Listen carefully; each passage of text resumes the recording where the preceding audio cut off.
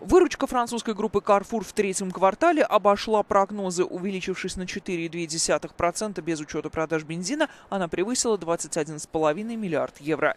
Первая в Европе вторая в мире сеть супермаркетов заявила, что рост обеспечила восстановление спроса в южноевропейских странах, улучшение ситуации на ключевом рынке во Франции и неожиданно сильное сопротивление кризису рынка Бразилии.